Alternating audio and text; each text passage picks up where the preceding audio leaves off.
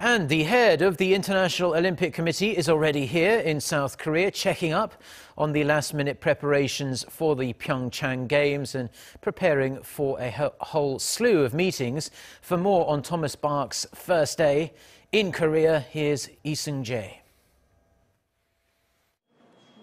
It was day one in Korea for IOC President Thomas Bach, who arrived at the host city of the 2018 Winter Olympics via a KTX bullet train from Incheon International Airport, pulling into Jinbu Station, where he was greeted by dozens of Olympic volunteers.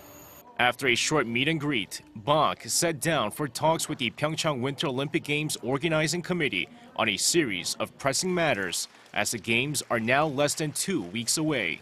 Bach asked Lee Hee-beom, the head of the organizing committee, about the major issues and challenges facing the opening ceremony, with E saying the freezing cold weather was the biggest concern. Meanwhile, Bach showed great interest in the first ever joint Korean women's ice hockey team, praising the little things the team is doing for team chemistry, as the South Korean players threw a small birthday party for their North Korean teammate Jin Ok on Monday.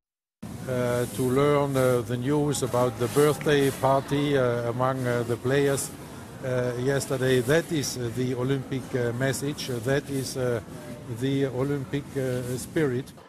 With the first ever Winter Olympics in Korea kicking off with the opening ceremony on February 9th, Bach will stay in Pyeongchang throughout the duration of the Games, which will end on February 25th. Lee Seung-jae, Arirang News.